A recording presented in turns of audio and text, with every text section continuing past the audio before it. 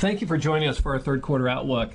You may recall we began the year with a weather related swoon for both the U.S. economy and the stock market. Unfortunately, last quarter saw a rebound in both, such that the title for this quarter's outlook is back on track, reflecting our belief that the economy and the capital markets are back on the course that we outlined for what we expected in January for this year as a whole. If you take a look at the U.S. economy across uh, economic indicators, most of them look very similar to here what we see at least portrayed on the PMI, which is the Purchasing Managers Index, which is a measure of manufacturing health. And namely what you see is the winter a precipitous drop off and then a rebound last quarter what we're calling here a thaw as you may recall our outlook last quarter is called spring thaw and we've really seen that across measures whether it's retail sales or auto sales home home builders index and consumer confidence. They all look similar in that the second quarter they enjoyed a nice rebound. Of course no no discussion about the U.S. economy is, is complete without perhaps the most important indicator, and that is some measure of the health of the labor market. And the most common measure, of course, is the unemployment rate here, known as the U3 in green, and it has fallen pretty steadily since 2009. The most recent reading here that we got last week has seen the unemployment rate fall to 6.1 percent, long ways from the pain of 10 percent unemployment back in 2009 perhaps even more impressive is this recovery in the jobs market has been kind of stealthy in it, how broad based it is. In fact, last week we got a labor diffusion index that was the highest in 14 years. And what that measures is how many different industries are adding jobs. And what we saw was the biggest number of industries from all the services to, into manufacturing adding jobs more than we've seen since the first quarter of 2000 so it's it's a broad based though slow uh, rebound in jobs. It, it's very, very broad based, and that's obviously very encouraging. One thing that people have said is that the 6.1% unemployment rate really understates the, the pain in the unemployment market, and that's that's certainly true. Here we take a look at trying to give you some context by looking at what's known as the U6 which is a broader based measure of unemployment. It takes not only the U3, which is people that are unemployed and looking for work, but it also adds those that are unemployed and not looking, and those that are employed part time and would rather have a full time job. And it's a reading that's about twice as high as the unemployment rate. But the fact is that it's gone down in a very parallel fashion, very slow and steady. But the fact is that this job market is getting better and it is broadening out, which is very encouraging.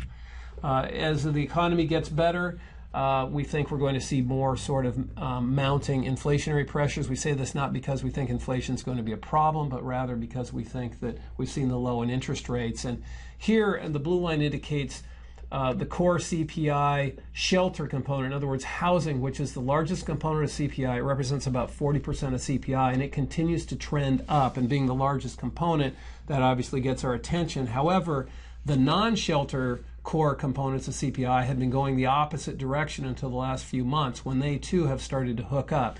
So, in aggregate, we think inflation has bottomed.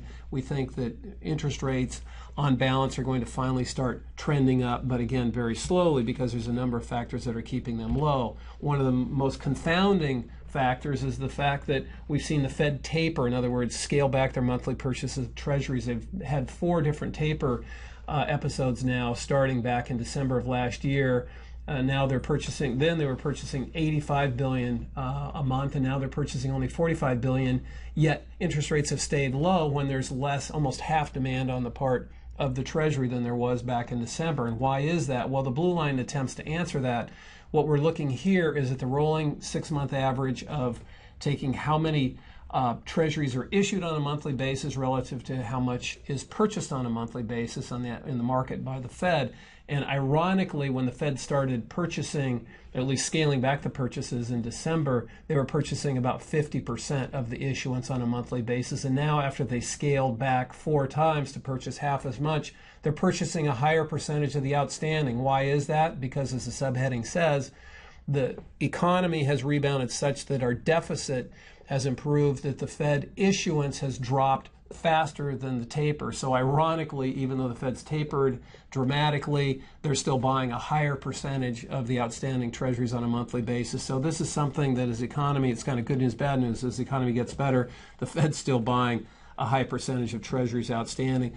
All things being equal, serving to keep a bit of a lid on how rapidly rates would otherwise rise. Another thing that's helping to keep a, a, lid on interest rates is the global rate complex. In a world that's struggling for growth, interest rates are very low as economies and countries and central banks try to stimulate their growth. Here we take a look at yields on 10 year instruments. For in this case, the red line shows the 10 year U.S. Treasury yielding a little over 2.5% the same time the German 10 years yielding about half that at 121 and even more surprising is two former pigs, Italy and Spain, are trading almost on top of the US, trading around 2.7.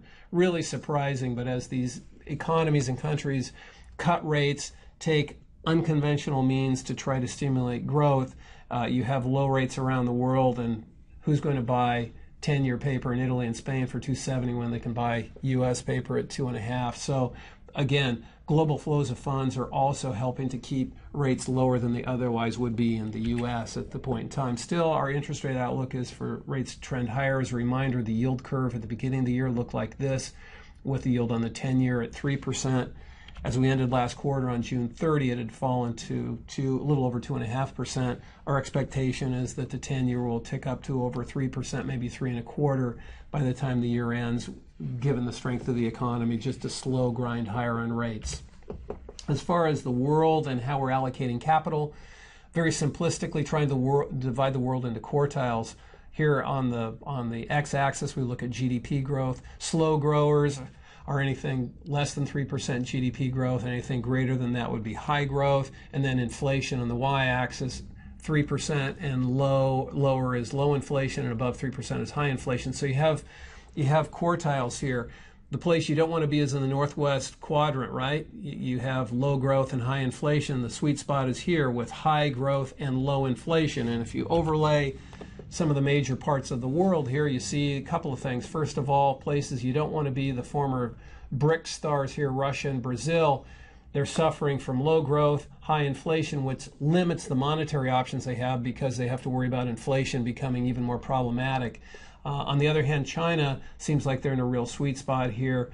High growth, low inflation, but the concern there, of course, is that their growth rates have been slowing from out here down to here, and the, the concern is how much slower will they get. The emerging markets, many of them are in the high growth, high inflation, and selectively we like areas. One of the most notable ones would be India.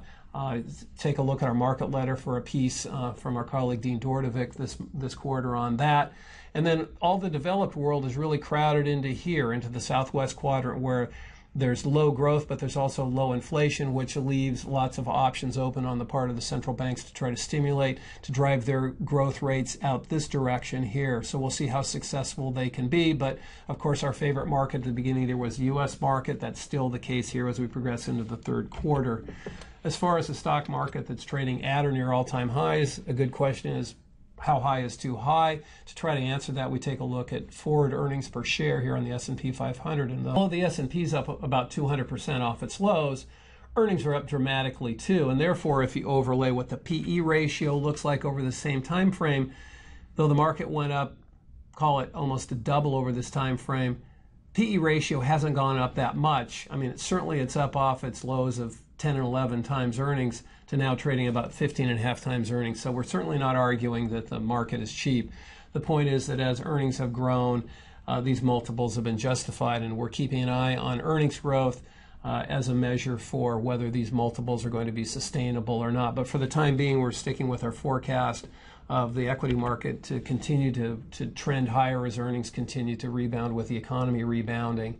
Another thing that we think will hopefully happen here in the second half of the year is that as more investors get confidence that the economic uh, rebound is sustainable, that we'll see more funds come off the sidelines, not only from the fixed income market, but also from uh, cash stores and go into the equity markets, at which point we'll, we'll be more inclined to take money out of our asset allocation towards equities. But for the time being, we believe that the, the economic uh, trajectory and the valuation support higher equity prices from here. Thank you so much for your time and attention. Hope you have a great summer, and we look forward to catching up with you in the fall.